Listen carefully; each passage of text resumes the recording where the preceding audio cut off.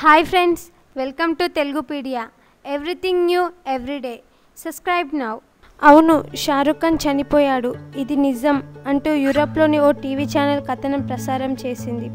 కనీసం బాలీవుడ్ వర్గాల నుంచి ఏమాత్రం కన్ఫర్మేషన్ లేకుండా షారుఖ్ ఇక లేరంటూ స్టోరీ ప్లే చేసింది. షారుఖ్ ఫోటో చూపిస్తూ మొత్తం ఇంకో ఏడుగురు కూడా ప్రాణం విడిచారని చెప్పింది.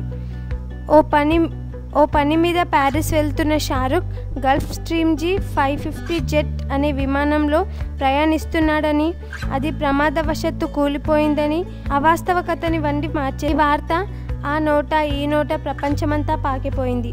దీంతో షారుఖ్ ఎలా ఉంటా దీంతో షారుఖ్ ఎలా ఉన్నాడంటూ అతని సన్నిహిత వర్గాలు ఒకటే ఫోన్లు వెళ్ళాయట.